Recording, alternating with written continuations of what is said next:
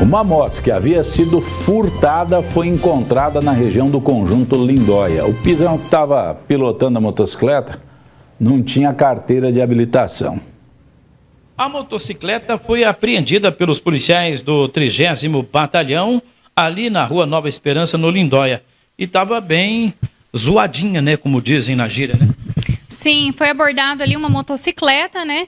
O condutor ainda tentou se evadir da equipe policial, mas cedeu no final das contas à abordagem, praticando ali uma direção perigosa, fugindo da equipe policial. Foi abordado, foi verificado que ele não tinha CNH, então não estava apto à direção. Também foi verificado que essa motocicleta estava com débitos pendentes desde 2022, portanto foi recolhida ao pátio. Ou seja, estava passeando, dando aquele rolê totalmente irregular o rapaz, né?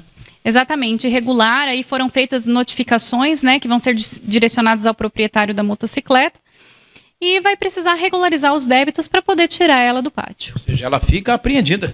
Exatamente, né? Não estava regular, sem os, as documentações pagas, então ela vai ficar no pátio até que o proprietário faça a regularização e que apresente um condutor habilitado para retirá-la do cenote.